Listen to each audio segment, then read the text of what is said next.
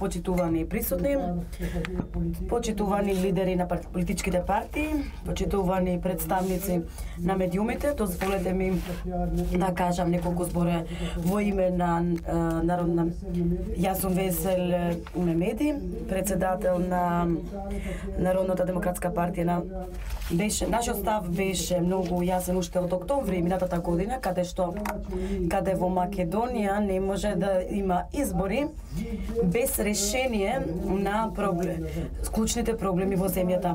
Пред се треба да се решаваат клучните проблеми во земјата, а потоа да се оди на избори.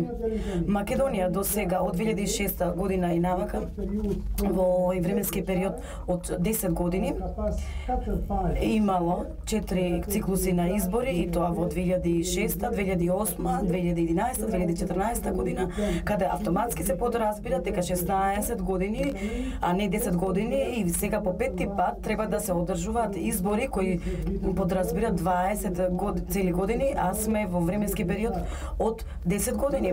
Затоа целта на нашата партија е без решевањето на клучните проблеми во земјата нема да има избори на 5 јуни како што беше и нашиот став во два, за 24 април. Клучните проблеми подразбори чистење на избирачкиот список, реформ и медијатните реформи во медиумите, но најважно е подразбира за јакнувањето на државните институции и довербата и правото во земјата.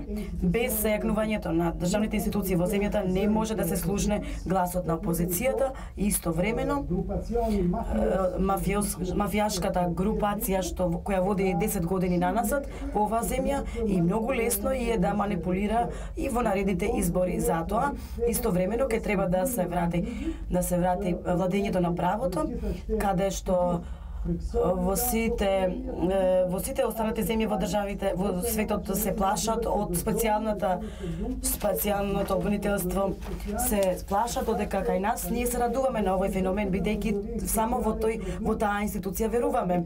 И повторно таа институција би го би ја вратила правдата во земјата. Најголемиот проблем тука се однесува и на договор на Пржино каде што надвор па, партиите кои што беа надвор од парламентот не беа составен дел од договор на Пржино. Тука верувам дека е виновен и меѓународната заедница, бидејќи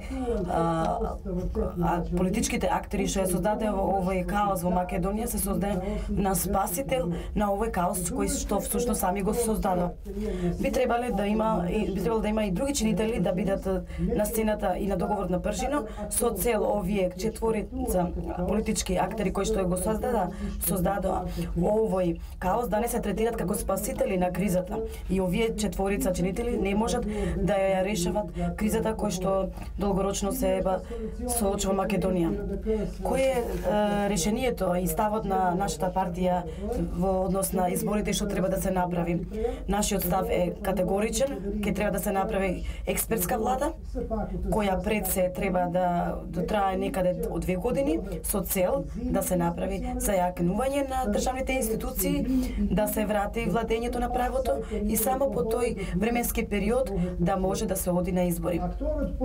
Политичките актори кои што ја го создадале овој каос по, по постојано нагласуваме дека само изборите ќе го решаваат ќе решаваат кризата, но сведоци сме дека изборите досега не нудиле решение. Затоа пред се да имаме решение, потоа да одиме на избори. Ви благодарам.